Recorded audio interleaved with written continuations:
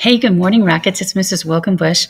We are continuing our book club today with uh, Galaxy Games, The Challengers.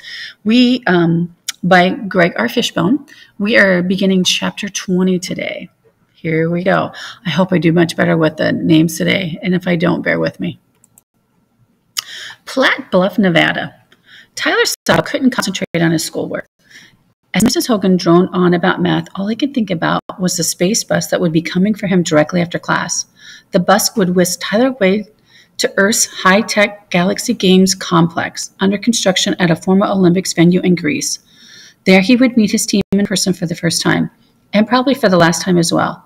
As much as Tyler wanted to visit the other worlds, the team would do better with someone more athletic as their captain, with someone more honest as their captain, with someone other than Tyler Sato as their captain. Quitting the team was the mature 11 year old thing to do. Tyler Sato, are you paying attention? asked Mrs. Hogan. Yes, said Tyler, but of course that was a lie. It didn't help that Tyler's cousin Dakai, who had learned a decent amount of English in the past two months, suddenly insisted on speaking to him only in Japanese. Tyler's new language implant still needed some adjustment, so each translation twanged his neurons like a harp player with thorn covered fingers. Tell the teacher I need to use the bathroom, Dakai whispered in Japanese and a fresh spike of pain bounded out inside of Tyler's skull. Tell yourself, Tyler shot back. You know how to say that in English. That's the first thing that you learned. Well, there are subtle, subtle shades of meaning that are only a native speaker can convey, Dakai explained. What subtle shades? said Tyler. You need to use the bathroom. On a scale of 1 to 10, how badly do you need to go? About a 3. So, all right, you don't need a Japanese to English translator to tell her that. Tyler Dakai? Mrs. Hogan shot the boys a stern glance from the front of the room. Do you have something to share with the class? Dakai stood and cleared his throat. Mrs. Hogan sensei, I need the bathroom pass, please. I have to do a number three. While the class laughed, Tyler dropped his head into his hands. Okay, maybe you do need a translator. At lunch, it seemed like the entire school was filled with Tyler's table, which filed past Tyler's table to wish him luck. It's just orientation and training, Tyler repeated over and over, like a robot version of himself. And I'll be home way before the end of it, he added silently. Tyler couldn't stand to look at another kid or teacher directly in the eye, and he figured that would be the way things had to be from now on. Once he quit the team, he would be too ashamed to look anyone in the eye for the rest of his life. Dude, you totally don't look as happy as you probably have to feel, said Braden in typical Braden style. Yeah, what's up? asked Lucas. There's nothing dull about orientation and training when it's orientation and training to play against kids on the other side of the galaxy with your own team of international all stars. Yeah, I guess. Tyler shuffled his feet and avoided his friend's eyes even more than anyone else's. Go kick some alien butts for us, okay? asked Lucas. If they even have butts, I'll kick them, Tyler promised. Even if they don't have butts, Find something on them that looks like a butt, said Braden. Use your imaginations and squint if you have to. Okay. Braden squinted and unsquinted his eyes to demonstrate. Now my elbow looks like an elbow, and now my elbow looks like a butt. Well, sort of. But don't kick it for real, because I'm only showing you it as an example. Dakai tapped Tyler on the shoulder and made a painful Japanese exclamation. Look, even Eric Parker is coming over to wish you good luck. Tyler forced his head to turn toward Eric's usual table. His former best friend, who hadn't said a single word to him in months, was really shuffling over to Tyler's lunch table. Could Eric have finally gotten up, had given up his pizza party grudge? Eric kept walking until he stood directly in front of Tyler. Hi, Eric, said Tyler. Hi, Tyler, said Eric. I saw you on news that you had a translator thing in your head now. Tyler put a finger on the side of his head and felt the inch long incision line. The language implant that lets me speak and understand other language. What about it? I thought it was interesting, that's all. Eric rocked back and forth on the heels of his sneakers. When I found out about it, I went on the internet and learned how to say that you're a jerk in five languages. Tyler Sato is a jerk. Tyler Sato is a jerk. Tyler Sato is a jerk. Tyler Sato is a delicious meat filled pastry. Tyler Sato is a jerk. Tyler went to the five way translation. Thanks a lot. You know, the fourth one doesn't mean what you think it does. Oh, so now you think you know more about the internet, Eric de- demanded. That makes you a mega super ultra jerk. He turned and stomped back to his table. Why are you smiling, Tyler -kun? Dakai asked. Because Eric's talking to me again instead of ignoring me. That's progress. Maybe we'll be playing hoops in his driveway again someday, just like old times. Forget him, Tyler, said Lucas between the bites of potato puff. The entire galaxy is your driveway now. Tyler's grin disappeared. I can't swish a 30 further from an X of a chalk anywhere else. I'm pretty sure of it.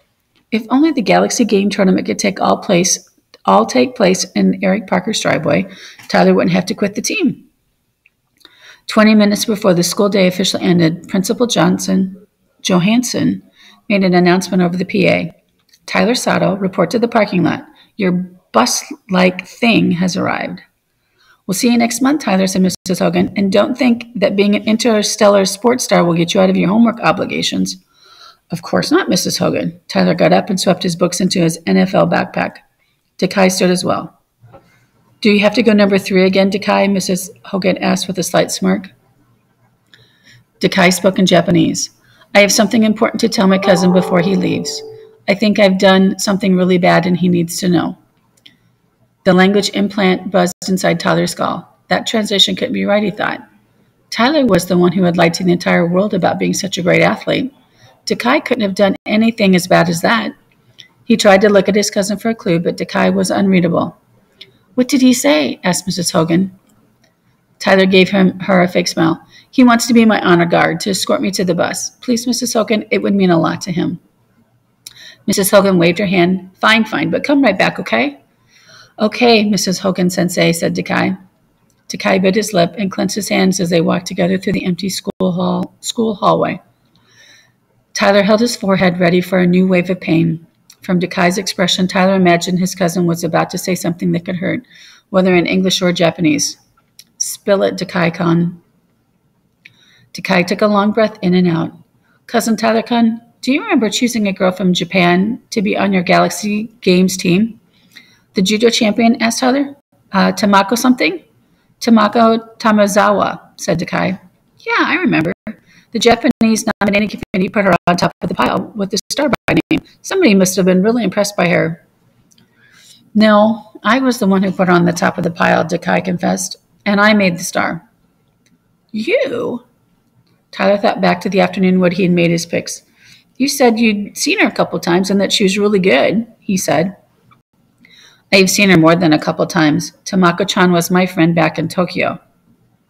Tyler stopped short in surprise. Oh. He started walking in, taking extra long steps to catch up with his cousin. Why didn't you ever tell me that you had a girlfriend in Japan? She's not my girlfriend, said Dekai, but she was a very good friend. Then I left to visit America, and Tamako got really mad about it. I haven't really spoken to her since then. She's sort of like, well, my very own Eric Parker. Tyler thought about that for a few moments. Okay, so she's mad at you. Worse than that, said Dekai. She's mad at you for taking me away from her. I am so sorry, cousin Tyler -kun. It will not be easy for you to be on the team with her. All the people who are mad at me should be from a club, Tyler grumbled. They could call themselves the Tyler Haters International Association. Eric Tamako, Senator Archer, the seclusionist, even John Moon hasn't forgiven me for going through the United Nations to get my team together and it's all my fault the Western Shoshone Nation doesn't have a seat at the General Assembly. Tyler pushed the door to the parking, opened the door to the parking lot, and found a zoo of reporters, camera operators, and at least three helicopters. In other words, the usual after-school crowd. A reporter lunged forward and, and stuck a microphone into Kai's face. Tyler Sato, how does it feel to finally have your team in training? I'm Tyler, he waved his hand. Over here. The reporter turned and blinked. Really? I thought for sure you'd be taller. Tyler gave his cousin a sideways glance. Dekai had gotten a haircut recently, and maybe he did look a bit more like Tyler than he had before, but he couldn't possibly more be more like Tyler than Tyler than himself. A group of police officers formed into a line and pushed the reporters back with the plastic riot shields. Clear the path. The boy has places to go and aliens to meet. A red faced police captain put his hand on Dekai's shoulders. It's okay, son. These jackals won't bother you while my truck is on duty. Tyler shouted, Hey, excuse me. I'm Tyler Sato, not him. Oh, sorry about that. The police captain's face got three shades redder than it had before. I just figured you'd be taller.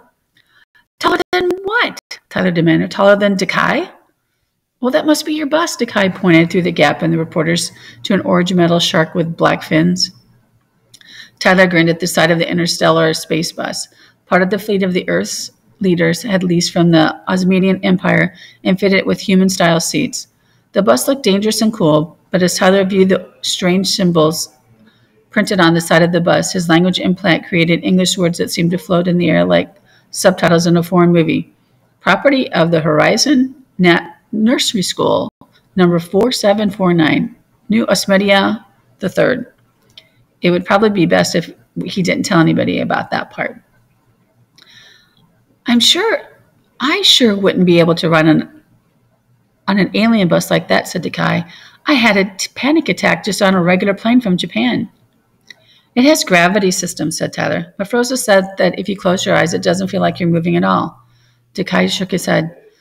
I would still know. Have a safe trip, cousin Tyler -kun. I will, said Tyler. And I'll say hi to your girlfriend for you. She's not my girlfriend. Tyler stomped through the crowd of the microphone waving reporters until he reached an even larger crowd of well wishers and fans. He could tell they were all fans from their homemade signs. Everyone wanted to shake Tyler's hands or slap him on the back or tell him how great he was. It made Tyler feel worse than before. He wondered if they'd be cheering if they knew he actually wasn't the greatest sports hero of all time. If they knew Mafrosa had been trying to pass her planet's tournament slot to another world she could find, it was a bad case of cookies, of cooties on the playground. The bus driver honked the horn to hurry Tyler along, or at least Tyler thought it was the horn. It sounded like somebody strangling a goat. Yeah, yeah. Tyler scanned the crowd for his parents and sister, but they were probably still at home, packing, so he could join so they could join him at the training complex while he settled in. A door hissed open on the other side of the shark, and Tyler scrambled inside. Um, hello, I'm Tyler Sato, he said to the six armed yellow puffball at the wheel. Squeeze a daka makafa, the fluff the puffball shouted through a mouth shaped like a megaphone. A spike of pain stabbed in the left side of Tyler's head as the language implant pushed an English transition to his brain. Move to the back of the bus. Uh, yes, sir. Ma'am, um, thing? Hoot squeege, the puffball replied. Just move. The other kids were already on the bus, just staring at him with awe. So Capito, shouted the boy with the dark copper skin and bright green Brazilian soccer shirt. Tyler remembered him from his dossier picture. He had a long name that Tyler couldn't quite remember, but the boy Our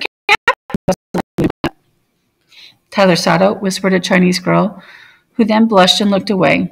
Tyler tried to remember her name, whether it was Ming or Ping. No, it was Ling, short for Ling Hua Bei.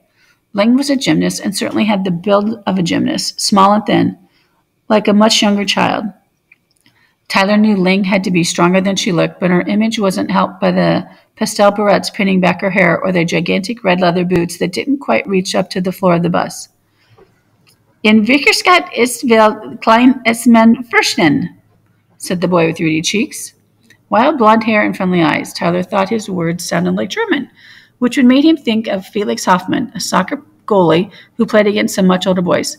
He looked so much shorter than on the TV, came the translation. The kids shouted in several languages at once. Then, along with Tyler, they all grabbed their heads in pain. Synchronized headaches groaned Tyler. We really are a team. I'm glad you survived that scary crowd, said Ling. Those people aren't scary, Tyler told him. Those are our fans, not them over there. Ling pointed to the other side of the bus at a larger, angrier group of people. They were shaking their fists and making ugly faces. Some of them also had homemade signs. Seclusionist? asked Tyler.